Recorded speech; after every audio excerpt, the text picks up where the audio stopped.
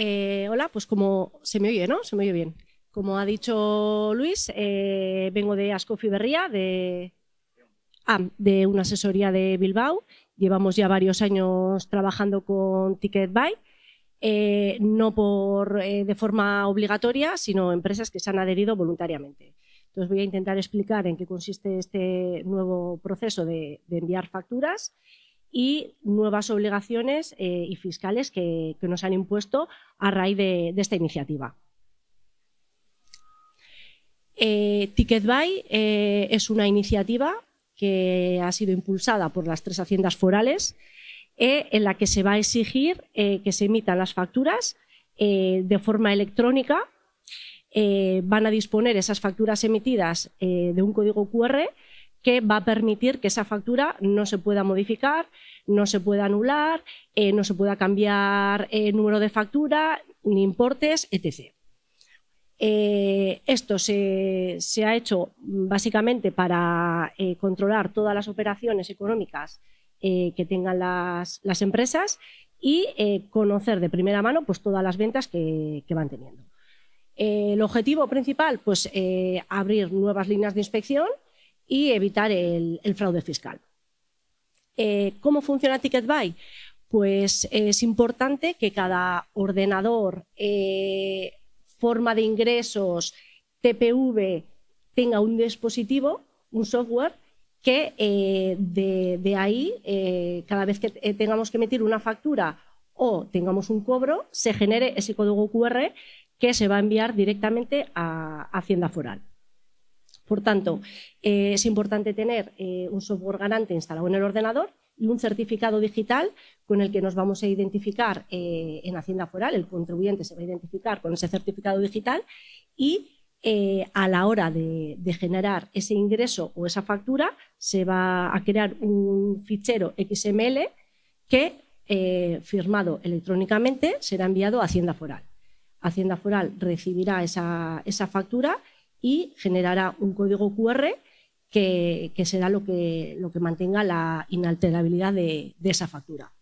El fichero quedará validado en Hacienda y ese ingreso será registrado en el libro de, operaciones de esa sociedad. ¿Cómo facturar con TicketBuy? Pues un poco lo que, lo que acabo de, explicar. Eh, mediante un, software que, tenemos que tener eh, habilitado en nuestros dispositivos eh, se va a emitir esa factura, eh, va a generar un código QR y tras firmarlo electrónicamente quedará registrado en Hacienda. Existen diferentes tipos de software y diferentes tipos de, empresas que, han creado sus propios programas dependiendo de, la actividad o del sector que, tengamos. Por, eh, por ejemplo, hay empresas de hostelería que debido a que su facturación va a ser eh, pues mediante cobros eh, por tarjeta TPV, van a tener que tener instalado un dispositivo que en cada cobro registrado por, su caja registradora pues se genere ese, ticket eh, con, un, código QR. Otro tipo de empresas que tengan un volumen de facturación elevado, pues puede ser conveniente tener software eh, adaptados a esa forma de facturación para, tras emitir eh, esa factura, que se genere el, código QR. Por tanto, eh, dependiendo de la actividad que tengamos en cuestión, pues tendremos que elegir un software u otro para, facilitar esa, tarea de, emitir las facturas. En, en, Hacienda Foral se ha habilitado una plataforma gratuita mediante la que se puede hacer la factura electrónica. Así la empresa no, tendría por qué incurrir en, costes de instalación, de software, de mantenimiento de, equipos, etc. Eh, es cierto que, esta forma de hacer la factura es recomendable para pequeños empresarios que no tengan un volumen elevado de facturas, ya que ActuFactura eh, no, mantiene datos de, clientes. Entonces, cada vez que hagamos una factura hay que cumplimentar todos los datos. Eh, hacer la, factura electrónica por factura es eh, un trámite bastante sencillo, ya que la página eh, es muy intuitiva. Habría únicamente pues, que poner los datos del receptor de la factura, la descripción del servicio que se está dando eh, los importes y eh, no se puede poner, o sea, te inhabilita la, propia página eh, poner la fecha de emisión de la factura y el número. Es debido a, toda esta implantación que quieren evitar que se puedan modificar las facturas, anularlas y crear una nueva. Sí que es importante que mediante esta plataforma se realicen bien las facturas rectificativas ya que a partir de, esta nueva implantación de, emisión de facturas no se van a poder eh, anular ni hacer abonos al uso. Hay que seguir la normativa de, IVA y del reglamento de facturación haciendo las facturas rectificativas. Que bien se puede optar por hacer una sustitutiva, es decir, eh, hacer mención a la factura que se está sustituyendo y la nueva sería la correcta y la que va a incrementar ese ingreso de la sociedad o por diferencias. Pero es importante elegir bien esta opción si se hace por sustitución o por diferencias para no estar duplicando ingresos que realmente no, han existido. Nosotros, desde Astufi Berría, eh, hicimos un enlace en, YouTube en el que sale un pequeño vídeo en el que explicamos pues, cómo, acceder a, la plataforma de Factura, cómo cumplimentar todos los datos y cómo, en definitiva, hacer la factura electrónica. Eh, esta nueva obligación, en principio, afecta a todos los contribuyentes, a todas las sociedades jurídicas, a todos los autónomos, eh, pequeños empresarios que realicen actividades económicas. No se va a considerar actividad económica eh, una persona física que disponga de, una vivienda, por lo tanto, en ese caso, esas personas físicas quedarían exonerados, pero todos los demás contribuyentes de impuestos sobre sociedades o de renta por la modalidad de actividades económicas van a estar sujetas a esta obligación. Existen exoneraciones. En Vizcaya, como comentaremos un poquito más adelante, eh, esta nueva iniciativa se ha completado con el sistema BATUS. Por lo tanto, las exoneraciones en Vizcaya son prácticamente ninguna. Hay una exoneración que no exonera a la propia sociedad, sino a eh, operaciones concretas en las que de una manera fácil no se pueda eh, sacar un ticket al momento. Pueden ser, por ejemplo, las sociedades de vending o eh, que, el cobro se haga mediante introducción de, monedas en, una máquina. Por ejemplo, una lavandería que disponga de un TPV para registrar sus cobros, pues en ese TPV se podrá poner un dispositivo para que en cada cobro se genere el, código QR y vaya ese ingreso a Hacienda Foral.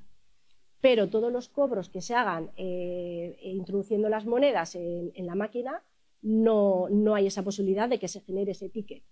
Por tanto, eh, mediante una solicitud previa, eh, cumplimentando y justificando esa imposibilidad, hay que rellenar bastantes cosas, eh, de la sociedad, de cómo se, eh, pueden cobrar esos, servicios. Entonces, tras una solicitud, eh, podría quedar ese cobro de, esa máquina, podría quedar exonerada, pero no la actividad en global, no la sociedad. En cambio, en Arabia y en Guipúzcoa sí que existen otras exoneraciones, como por ejemplo para mayores de 60 años que no hayan tenido trabajadores en el 2021.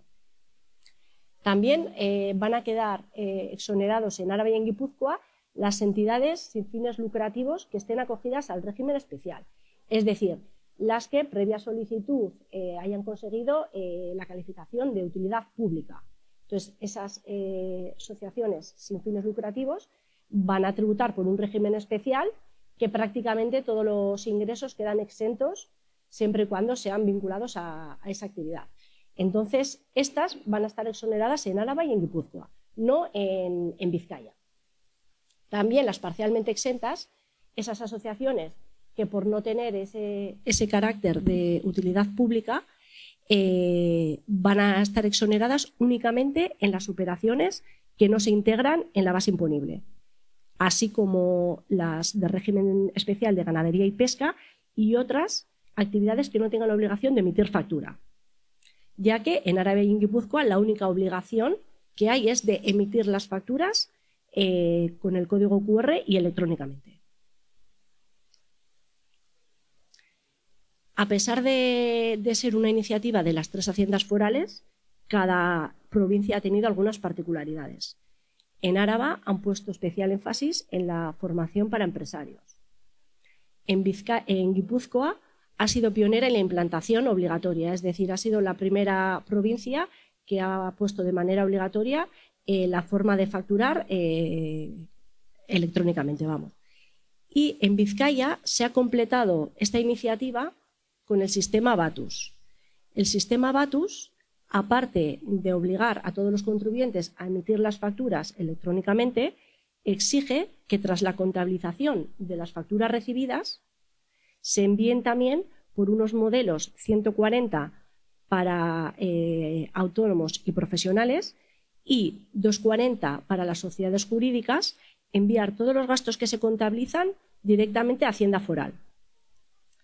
Eh, tras este envío, Hacienda Foral va a tener registrados todos los ingresos y todos los gastos de esa sociedad y va a poder elaborar unos borradores de IVA y de sociedades.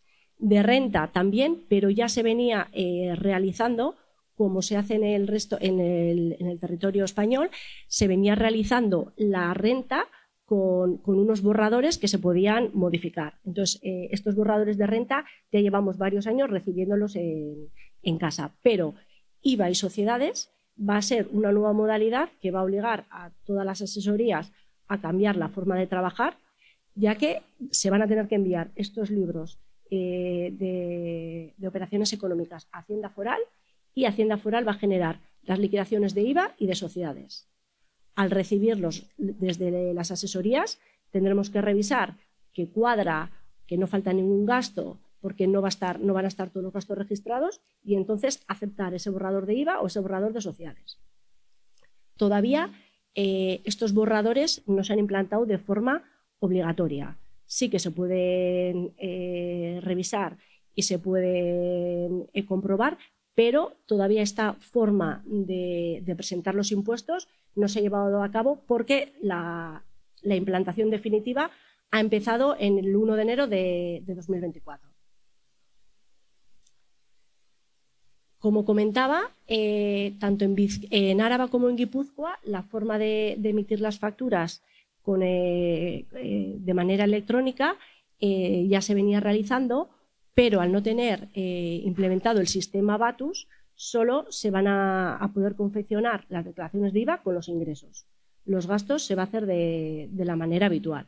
En cambio, en Vizcaya, debido a esta nueva implantación, se ha ido posponiendo la adhesión obligatoria hasta encontrarnos que el 1 de enero del 2024 las sociedades, eh, las grandes empresas y las sociedades patrimoniales, es decir, las que no tienen, ah, las que no tienen actividad económica, eh, van a ser las que, que están obligados a emitir las facturas con, este sistema.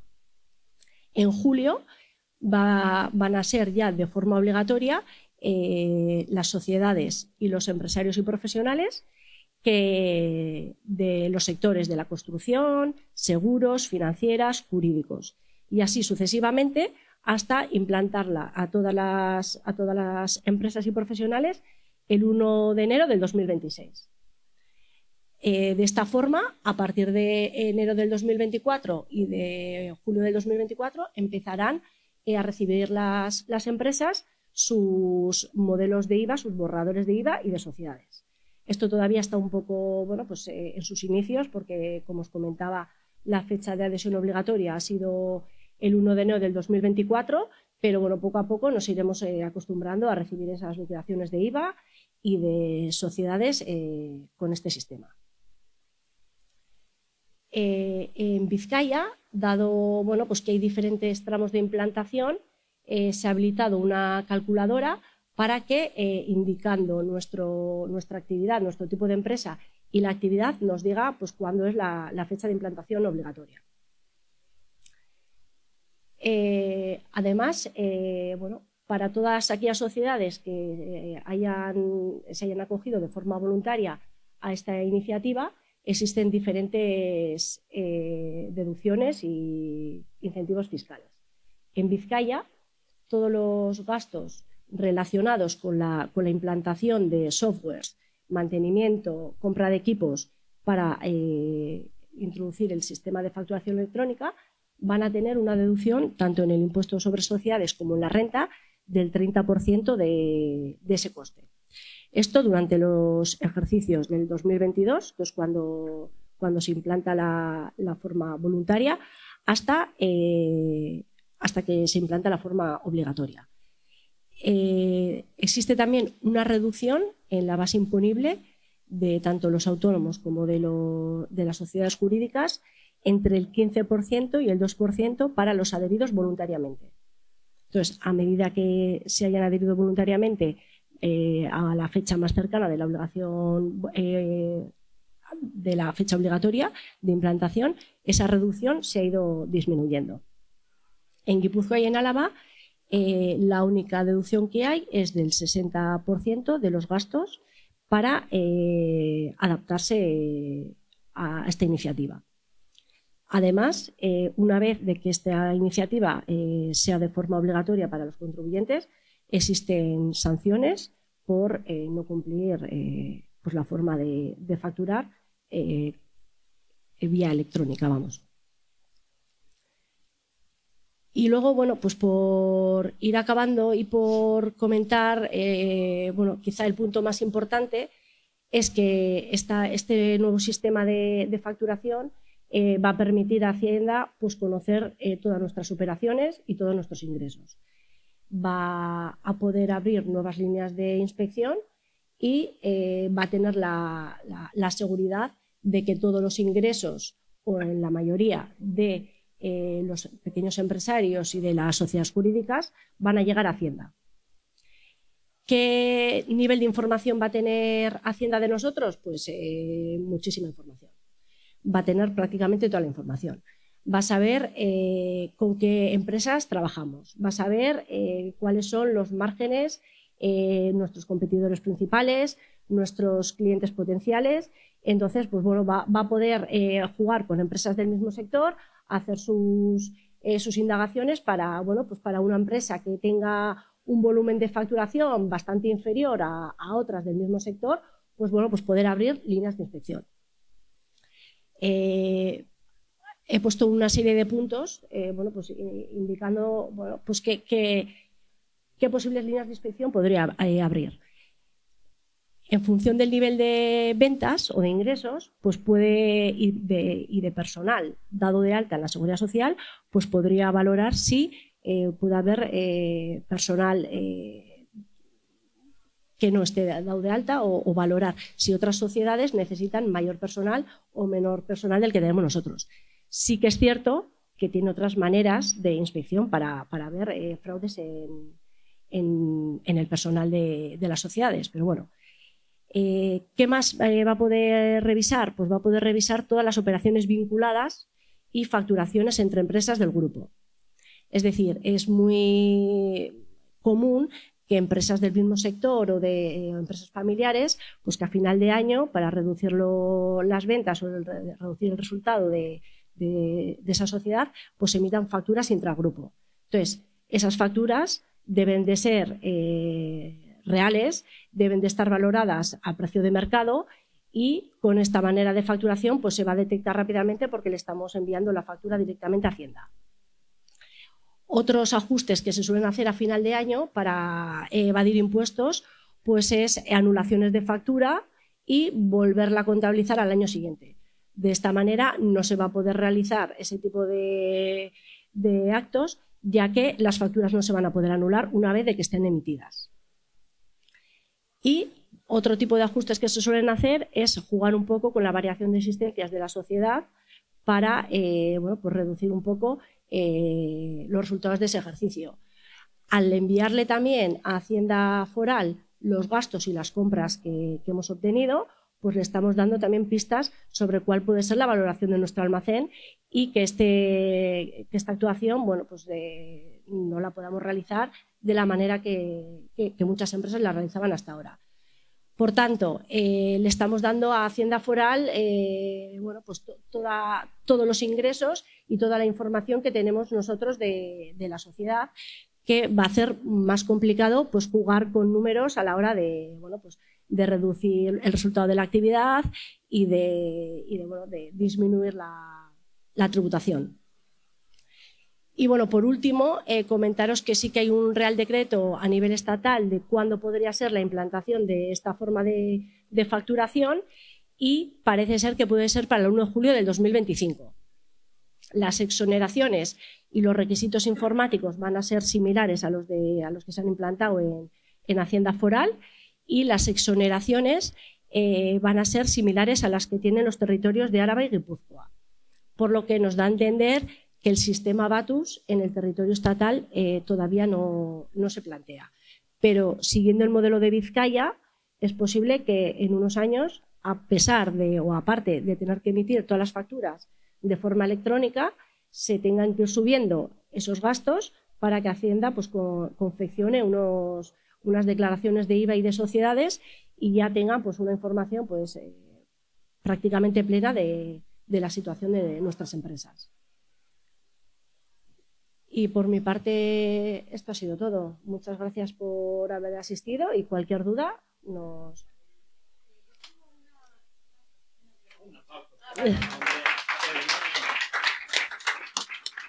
gracias, Bueno, eh, sesión de preguntas. Eh, ¿Tenías por ahí?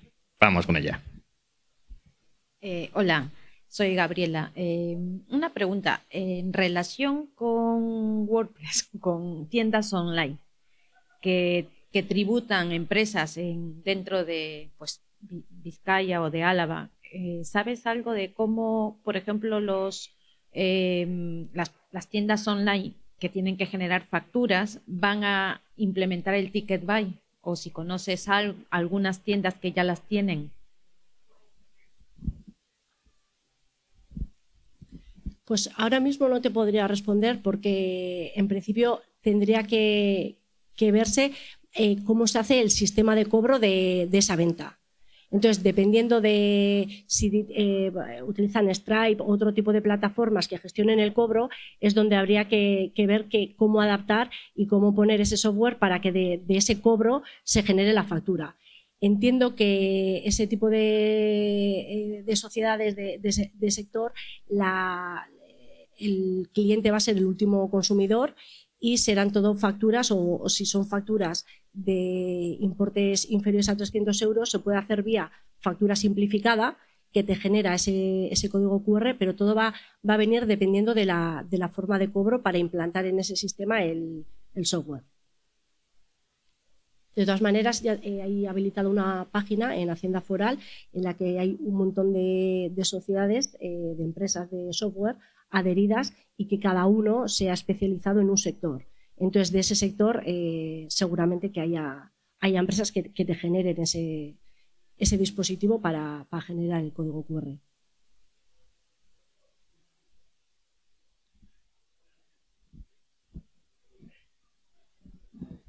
Eh, dos preguntas. Eh, la primera, una fundación en Vizcaya que ejerza una actividad económica eh, ¿Cuándo tendría que empezar? Porque no me ha quedado claro dentro de las casuísticas que has puesto.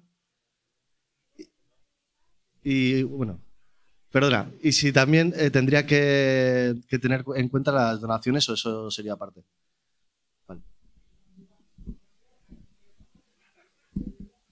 En principio, que ellos, eh, las, asociaciones creo que son las últimas de la implantación obligatoria entidades total y parcialmente exentas. Entonces empezarían el 1 de enero del 2026. Eh, en el caso de las asociaciones y fundaciones, todos los ingresos eh, tienen que estar declarados por, por TicketBuy, para que de ahí ellos vean los ingresos que ha tenido. Van a estar exentas o parcialmente exentas, pero como van a generar esos borradores de sociedades y de IVA, tienen que estar declarado ese ingreso. Sí que va a haber ingresos que se puedan hacer con factura electrónica y, y otra tipología de ingresos, como son las donaciones, que no se puedan generar y los tengamos que introducir y subir sin un software garante. Eh, nosotros, eh, aunque no estén obligados esas donaciones a emitir factura y a tener el código QR, nosotros dentro de, la contabilidad tendremos que introducir ese ingreso y subirlo a Batus, como haríamos con las facturas de gastos. habría que añadir ese ingreso sin un software garante, porque no, no habría eh, forma de, de, hacer esa factura electrónica, pero ese ingreso habría que subirlo a, a Batus para los, los libros de operaciones económicas.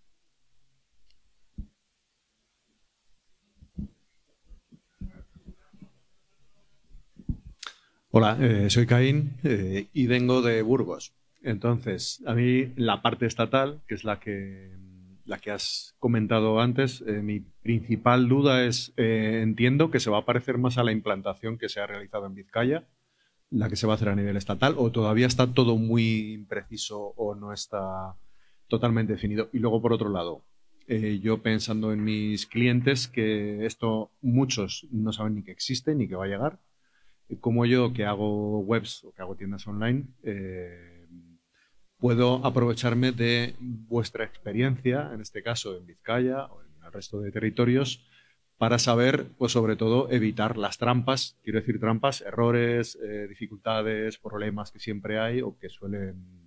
Si, si habéis planteado, digo como idea, ¿eh? de, una pequeña guía de a nosotros nos pasó esto para que nos pase cuando empecéis a nivel estatal a hacerlo, el cómo, hacerlo. La principal duda, lo de si eh, va a ser más como ha sido en Vizcaya, la implantación del Ticket Buy estatal, o si no está todavía muy definido. La fecha no sabía, no sabía que era ya en, en julio de 2025. Era. Vale, pero ni de coña.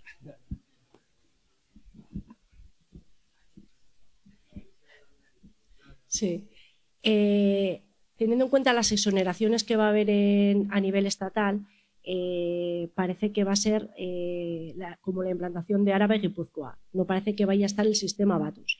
En Árabe Guipúzcoa y en la estatal, en la normativa que parece que va a salir, es decir, ha salido un, real decreto que se va a implantar, pero no ha salido una normativa reguladora de cómo va a ser, qué plazos y qué condiciones. Entonces, se estima que sea para julio del 2025, pero todavía queda mucho recorrido de cómo va a ser y, en qué plazos. Entonces, teniendo en cuenta esas exoneraciones, eh, parece que van a implantar solo la obligación de emitir la factura electrónica, yendo únicamente eh, a la agencia tributaria los ingresos. Por lo tanto, esa obligación de contabilizar los gastos, de subirlos y de que ellos generen esos borradores no parece que se vaya a implantar. Pero bueno, todo, todo se verá. Y nosotros, pues, eh, hemos tenido un poco casos de, de, todo tipo. El primero que va a surgir, o la primera duda que va a surgir, va a ser quién está qué sector tengo y cómo me adapto yo. Hay empresas que va a ser muy sencillo adaptarse pues porque están acostumbrados a tener eh, RPs de gestión de facturación, entonces con un dispositivo van a hacer la factura como la venían haciendo, lo único que va a generar el código QR y se va a enviar a Hacienda. Todas las empresas de hostelería pues son las que, más eh, dudas nos han surgido, eh, polideportivos, gimnasios, que tienen, nos cobran en efectivo, otros les lleva el TPV, otros hacen transferencia. Entonces, claro, gestionar esas formas de cobro es lo que muchas veces nos ha costado eh, pues, eh, asesorarles de, qué tipo de empresa eh, les puede convenir. Entonces, lo que comentaba ella también, que ella tiene una, empresa online que se envían las facturas o las ventas hacen de forma electrónica, pues va a costar más porque esas formas de cobro va a costar más cómo adaptar un, dispositivo para que genere la factura. Entonces, eh, bueno, pues eh, poco a poco habrá, viendo, habrá que ir viendo qué, normativa y en qué términos. Sí que es cierto que yo entiendo que la, eh, la implantación del territorio foral a, la agencia tributaria le va, a ser, le va a resultar más sencillo porque ya hay una experiencia previa y hay empresas que ya se están dando cuenta que esto hay que generarlo y ya van a anticiparse a, a, generar ese tipo de dispositivos. Entonces, bueno, iremos viendo a ver. A ver, esto es muy sencillo. Yo soy Paco, soy buzcuano y uso Factura Buy directamente en la aplicación que tiene la, Hacienda. Vamos, eso es. Entonces, ahora solamente estoy subiendo lo que son las ventas que hago, las facturas. Los gastos no estoy subiendo lo subo, o sea, tengo el registro en los libros, pero no, es, no, hay, no, es, no hay ningún sitio donde pueda subirlos directamente. Entonces, ¿eso se va a implantar pronto o como... Eh, es lo que comentaba, que el sistema Batus solo se ha implementado en Vizcaya. Entonces, en Guipúzcoa y en Áraba solo hay obligación de emitir las facturas vía electrónica. De ahí a que existan esas exoneraciones en sociedades eh, sin, eh, sin fines lucrativos y las parcialmente exentas. Ahora, en Guipúzcoa y en, y Áraba, sí que van a generar esos borradores de IVA, sí que en, en, esas liquidaciones de IVA se van a poder ver las ventas, pero no pueden sacar una liquidación en sí porque los gastos no están subidos. Entonces, solo van a tener la información de los ingresos. Eh, para poco volumen de facturas, eh, clientes más o menos recurrentes, es una plataforma que está, es como la de Factura de Vizcaya, que funciona muy bien, es muy intuitiva y bueno, pues eh, puedes hacer de ahí las facturas, se suben y estás cumpli eh, cumpliendo con tu obligación perfectamente, o sea, no, no habría ningún problema. Suri.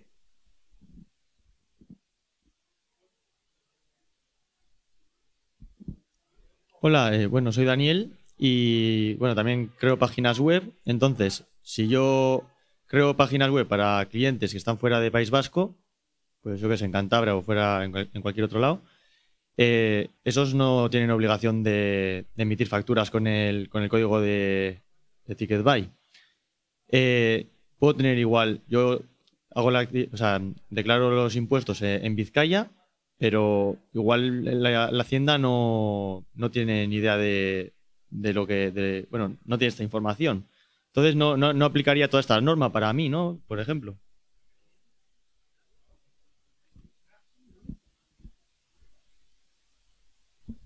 Hola, a ver, en principio, si tú tributas en Vizcaya, estás sujeto a la normativa vizcaína y tendrías que adaptarte a esta nueva obligación de factura electrónica. ¿Qué va a pasar? Que el que reciba la factura eh, va a haber una factura normal al uso con un código QR. No le va a servir esa información a la agencia tributaria para comprobar que el gasto que recibe eh, ese contribuyente de la estatal pues es correcto o no. Pero tu obligación es de hacer la factura electrónica y de subirla a Hacienda. Lo que pasa es que todavía no está completo con la agencia tributaria pues, cuadrar esos, esos ingresos con esos gastos.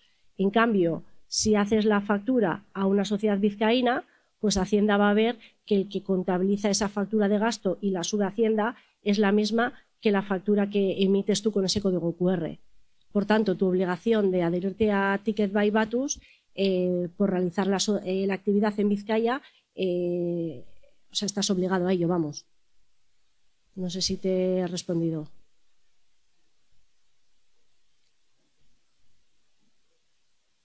En principio, si tienes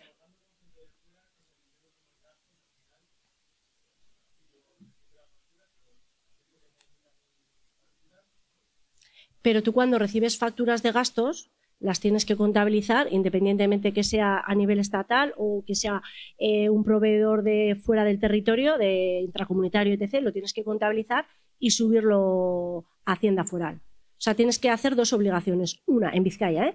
Una es la de emitir las facturas con ese código QR y de esa forma eh, de manera electrónica. Y por otra parte, contabilizar todos los gastos de tu actividad y mediante el modelo 240 subir esos gastos para que Hacienda pueda confeccionar ese IVA y ese impuesto sobre sociedades, si es persona jurídica, con los datos que tú has subido. Que tras una revisión y comprobación habrá que modificarlo o aceptarlo. Gastos de amortizaciones de activos, pues no van a aparecer. Eh, sueldos y salarios en las declaraciones de IVA, pues no van a aparecer porque no llevan IVA. En impuestos sobre sociedades tampoco se están subiendo, entonces habría que subirlos. Entonces, esos borradores todavía están un poco verdes, habrá que, que ver cómo funcionan, pero tu obligación de generar tanto las facturas emitidas como las recibidas eh, lo vas a tener que hacer por ser contribuyente de Vizcaya.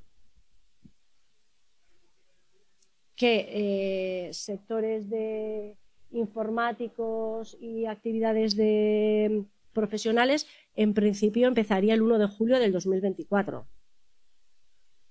Es ahora ya, por eso que en enero hemos estado un poco tranquilos porque eran únicamente grandes empresas, pero ya en julio ya hay muchos contribuyentes que se tienen que adherir de forma obligatoria. Entonces, pues bueno, ya de cara a mayo habría que, que mirarlo.